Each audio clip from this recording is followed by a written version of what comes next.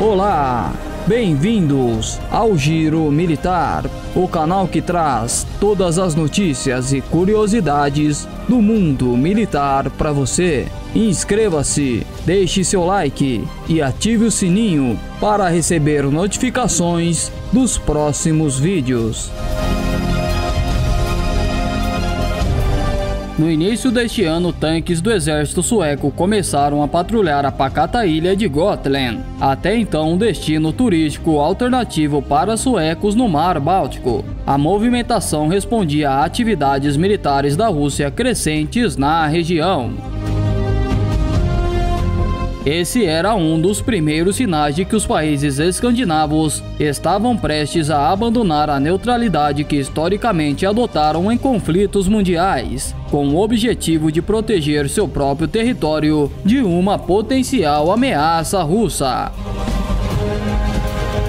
A Finlândia formalizou ontem a intenção de solicitar o quanto antes o ingresso na OTAN, aliança militar ocidental que o Kremlin considera seu principal inimigo atualmente. Tanto a Finlândia quanto a Suécia se mantiveram neutros durante décadas, embora por motivações diferentes. A Suécia mantinha a neutralidade por questões culturais, o país era um dos mais antigos a ter esse modelo, que adotou depois da Primeira Guerra Mundial. E embora formalmente tenha abdicado da neutralidade quando ingressou para a União Europeia em 1995, o governo sueco já rejeitou propostas de integrar a OTAN e seguia sem intervir em conflitos. Já para a Finlândia, ser um país neutro estava relacionado à sua posição geográfica. O país tem uma fronteira de 1.300 quilômetros com a Rússia, e desde a escalada das tensões entre Rússia e Ucrânia no fim do ano passado, teme estar desprotegida caso Moscou decida aplicar retaliações ao Ocidente. As primeiras ministras da Finlândia, Sanna Marin, e da Suécia, Magdalena Andersson, anunciaram juntas em meados de abril que debateriam em seus parlamentos a intenção de ingressar na OTAN. A possibilidade cada vez mais concreta provocou a ira do governo russo, que fez sérias ameaças aos dois países.